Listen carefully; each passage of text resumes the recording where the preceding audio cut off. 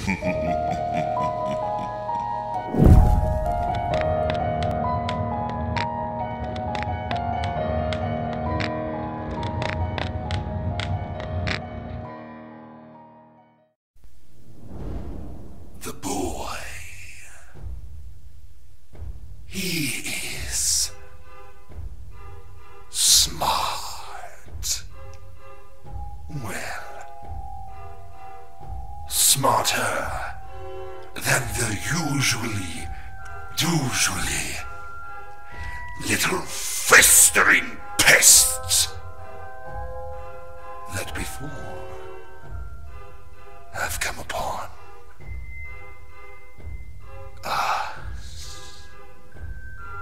The Hatter knew the boy would never hide from him.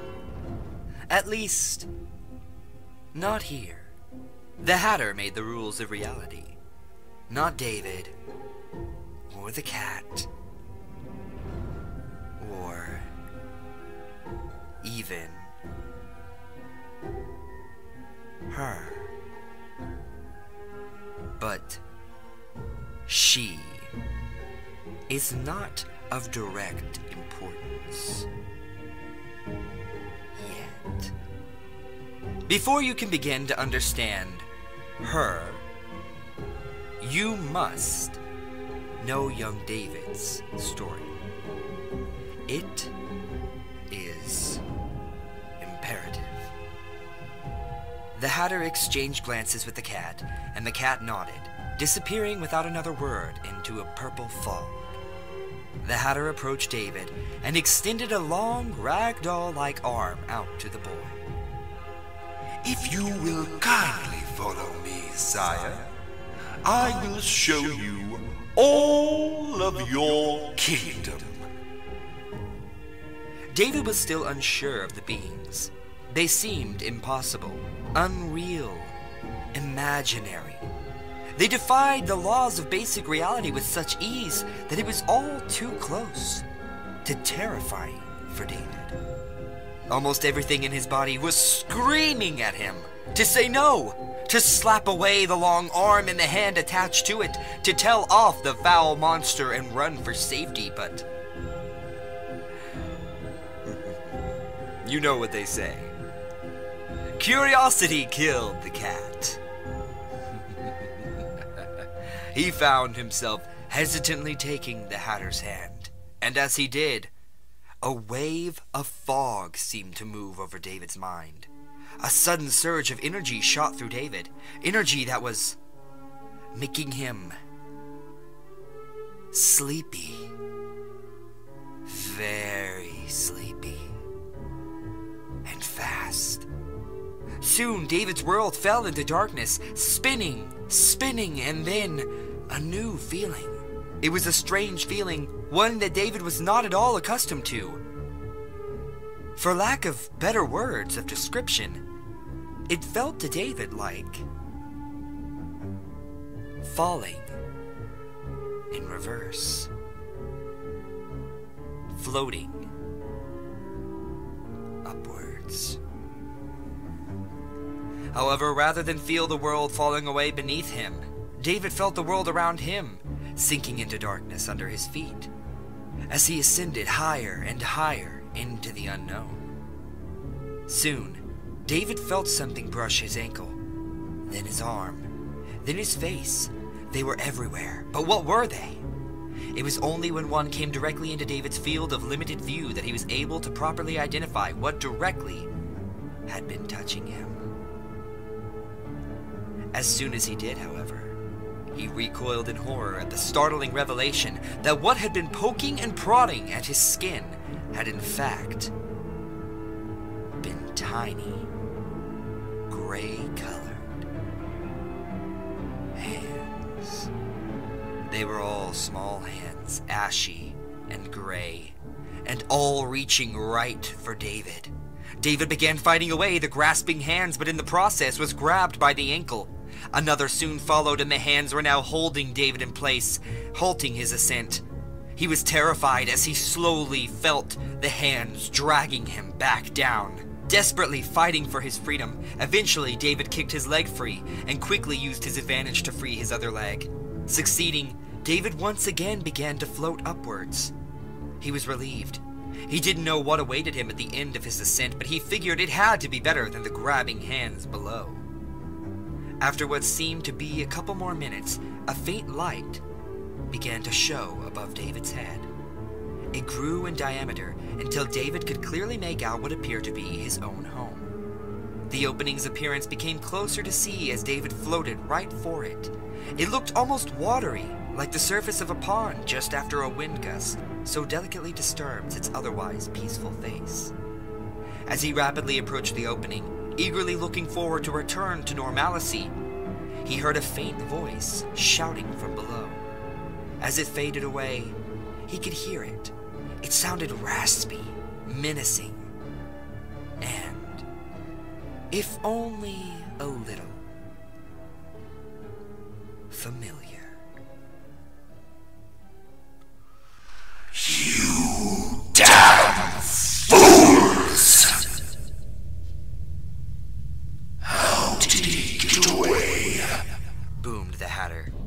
The three currently terrified servants shakily responded with quiet, I don't knows, and please forgive us. Listen. Number one, don't piss off the Hatter. said the cat. So, whatever shall we do with them, sire? Pull their eyes out and use their tendons as a jump rope?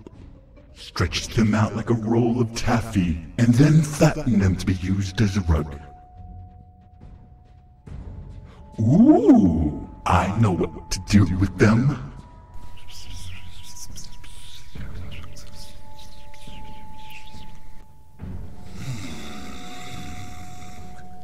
Now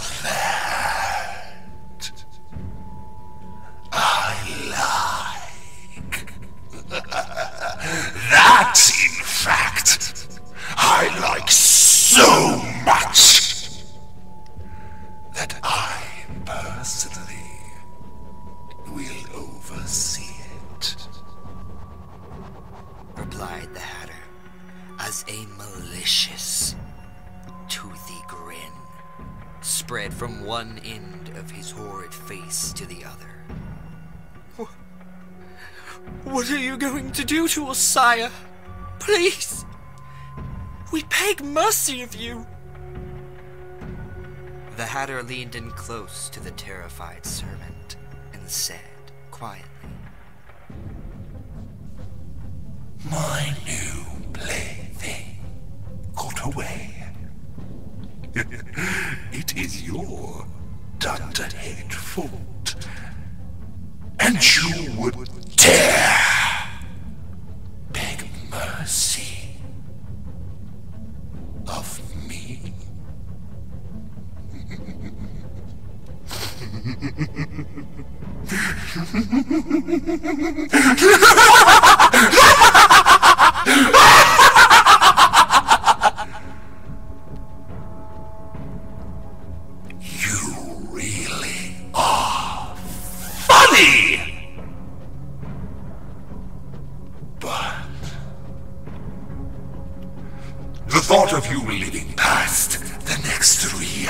hours.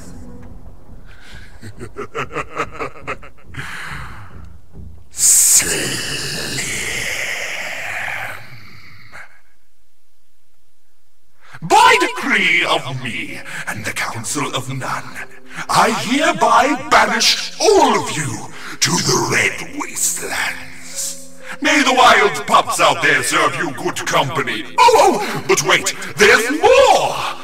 As sole ruler of Wonderland, I order you and your families to the Wastelands. Isn't that wonderful? The servants gasped in terror at the mad ruler's display of brutal power. Indeed, sire. 'Twas a most delicious twist of fate. For the poor bastards. No! You cannot do that, you monster! This is too far! You leave them out of this madness! Screamed the servant, overcome with a sense of fatherly protection. Oh, he was brave. Dumb, but brave nonetheless. The Hatter stood tall to tower over the now cowering servant. You know, standing up to me, shall we say, is a gamble. In order to gamble, you must have cards. Cards have four shapes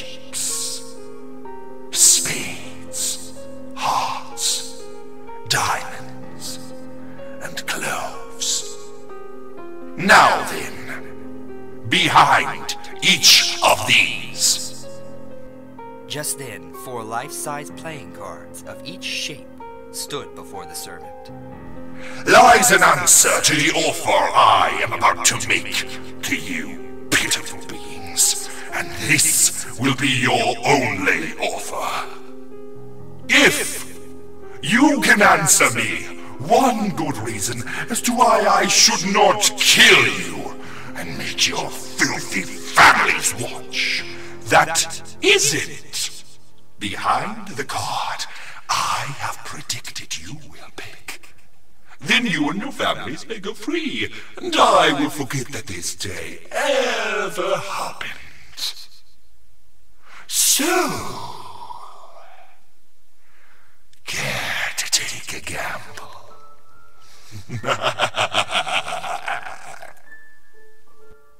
The servant pondered the twisted ultimatum and then asked, "Wh-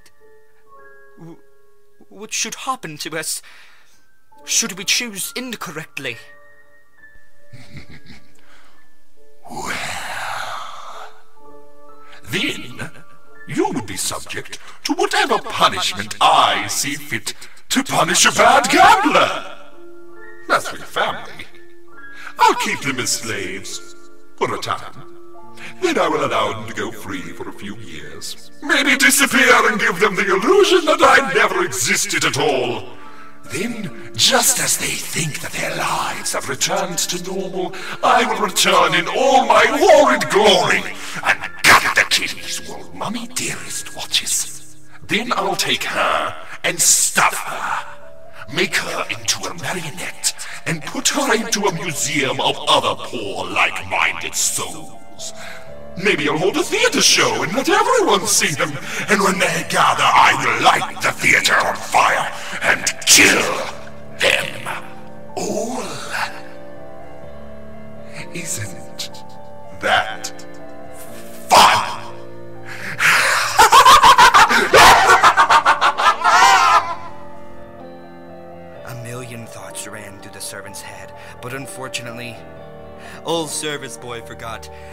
nice and doing the right thing in the face of certain death is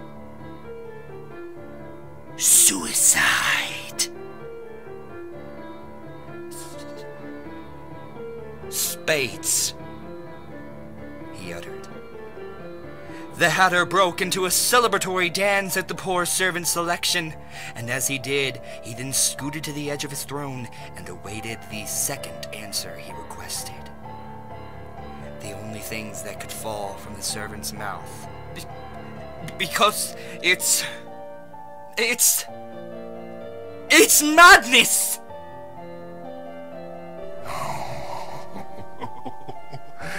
It is so sad. It's really too bad. He revealed the card, which had in big, huge lettering the words, Because it's madness, sprawled across it. You should know by now that down here we're all mad. And with a snap of his fingers and a beam of his eye, the poor servant transformed into a life-sized ace of spades playing card. However, the most horrifying part, he was still alive. Barely so, but the servant was still able to see and hear everything around him. even to go as far as to retain information. Beyond that, he could not move, as his stump legs and hands could not support his balance enough to provide movement. The only way he stood now was through whatever twisted magic the Hatter was imbued with. The other servants, now terrified, began to attempt to run. One did not get far before the disembodied head of the cat appeared in his path and sank his razor sharp teeth into his eyes and brain, the fangs piercing his skull like a butter knife. The door was mere inches from the last servant's grasping hands when the Hatter reached out his hand and simply said one word. Return! Instantly, the servant was flying through the air in reverse in a vacuum like effect toward the twisted abomination. The Hatter snatched him by the throat and looked him in the eyes.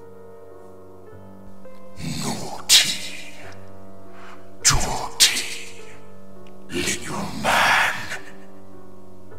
Running away without your companion? Now I just cannot figure out why you would want to do such a thing. After all, he's a god!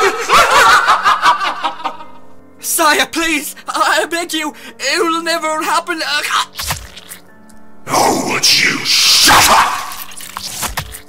Boomed the Hatter as he took his hand, formed it into a curved blade, and shoved it through the stomach of the servant, silencing him immediately. The Hatter tossed the lifeless corpse to the ground, blood pooling around. Oh, great good God! Rabbit! yelled the Hatter. No more than two seconds later did a white rabbit in a red waistcoat appear before him. Yeah, yes, sire. Reporting for. Yada yada, yes, I know. Now listen.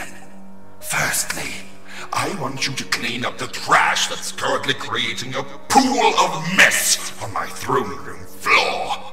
And then, I want you to find out how he was able to escape me. I'm sending you to him. Observe him and lure him back to me. I don't think I need to tell you what will happen if you fail me, Rabbit. Do I? He stated, gesturing to the paralyzed figure which was once a man. The rabbit was no fool. He would not even dare disagree with the Hatter, for he knew all too well the terrible powers he possessed, and just how easily he could be spurned into displaying them on anybody and everybody that he pleased. So off went the white rabbit, through the large ornate door and into what the mortals called reality, Oh, reality. thought the rabbit. This silly concept mortals use to explain away things that would otherwise be frightening. Do they not know that all the greatest things in the cosmos are found outside the realm of mundane comfort? Do they really believe that just because they don't believe in something, that it means it just does not exist? This silly mudball is so full of potential if only its people would apply themselves. Now then, where are you, David? The rabbit scoped out the area where he had arrived in, and after a few minutes of diligent scanning, there he was. Standing in the middle of a circle of concerned onlookers was the boy, face down and motionless on the snowy ground. As he looked on, the boy began to stir, and as he rose, the group of people around him started to diminish in number until only four remained. Eventually, the boys all seemed to disperse, waving a goodbye to each other before walking home. David walked for a good ten minutes until he reached the small, slightly beaten up home that he had lived in, unaware that something had secretly followed him home. David walked in to the sounds and smells of his mother cooking dinner. She reminded him that dinner would be in 20 minutes and told him to promptly shower and change into clean, non snow covered clothes. David did as he was asked, and 20 minutes later was down the stairs in a clean pair of clothes. Dinner was fantastic! A wonderful roast with delectable mashed potatoes and a side helping of roasted vegetables. There were green beans, corn, asparagus, beets, and. carrots. David paused as the thought of the word came into his mind. Something in the air turned sour, and a strange feeling began to wash over him. He remembered the hand that had held him in that space. Gray, ashy hands. Tiny, lifeless hands. Almost as if they belonged to children. David? called his mother from the other side of the table. David looked up from his food to meet his mother's concerned gaze. David was not focused on her, however. Are you quite all right, darling? Oh, yes, Mother. I must have dozed off for a minute. He replied. His mother seemed to accept his response, and David went back to his thoughts. Carrots. Carrots are a good snack for rabbits. David thought, as his mind began to wander. David looked slightly left of his mother, to the window in the kitchen that led outside, towards the large field which led to the thick forest which lay on the outskirts of the countryside which dotted the landscapes. The snow covered everything, and although it had grown quite dark outside, David could see the white like a giant neon sign sticking out of the darkness. In that white, his eye caught a flicker of movement from behind one of the snow covered pines. He could not make out a figure, only a small shadow that moved quickly through the darkness. As it trudged onward, David watched the figure become smaller and smaller as it got closer and closer, and soon David could see what it was. Though he could not say he fully believed what his eyes presented him with. A rabbit. A white rabbit wearing a small red waistcoat and holding a small object in its tiny paw. He pressed the object to the window and realized it was a small, multicolored pocket watch. David was stumped as to what to do, so he merely watched the rabbit jump from its perch into the snowy night below. David knew what it wanted. He had no idea why, but a sudden, strong, and demanding thought had made itself present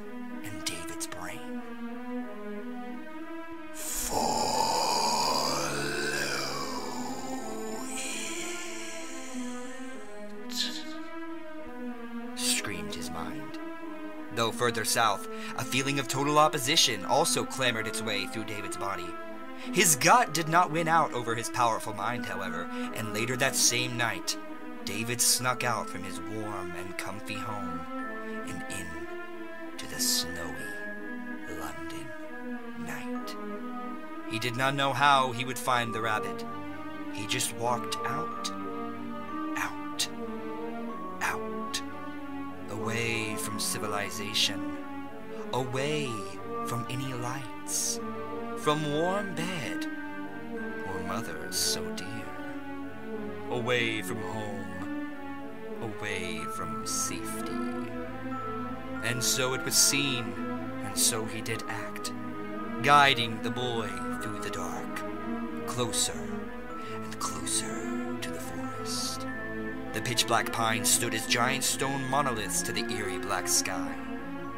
Then it was the whisper so faint on the wind, yet audible to his ear.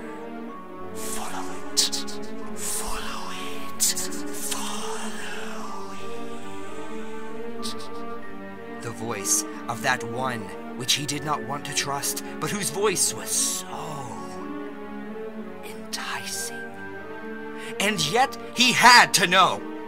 It simply had to be known to him the who's and whys of the strange experiences of the past few hours, and th- that thing! The Hatter, the cat, the, the Cheshire one. They didn't make any sense, and thus, he simply had to know. Now, the boy was at the edge of the dense woods, and the dark seemed like a void. The same void that he had faced earlier that same day. he walked into the dark, into the void, to face the unknown of Wonderland. Next month, Chapter 9 Beware, beware, the Hatter's